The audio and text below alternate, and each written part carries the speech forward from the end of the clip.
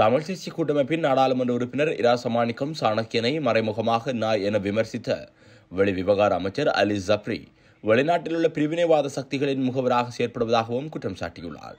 முன்னாள் அதிபர் கோட்டாபய ராஜபக்சவிற்கு வீடொன்றை வழங்குவதற்கு வெளிவிவகார அமைச்சர் அலி சப்ரி நடவடிக்கை எடுத்துள்ளதாக ஊடக செய்தியொன்றை மேற்கோள் காட்டி சாணக்கியன் முன்வைத்த குற்றச்சாட்டிற்கு இன்று நாடாளுமன்றத்தில் பதிலளித்த போதே அவர் இதனை கூறியுள்ளார்.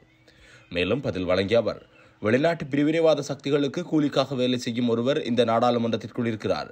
இராச மாணிக்கம் என்ற குறித்த நாடாளுமன்ற உறுப்பினர் இந்த நாட்டு மக்களின் தேசிய இனப்பிரச்சினையை தீர்ப்பதற்கு மிகவும் விருப்பமற்ற ஒருவராக காணப்படுகின்றார் என்று இதன்போது அலிசப்பை சுட்டிக்காட்டியுள்ளார்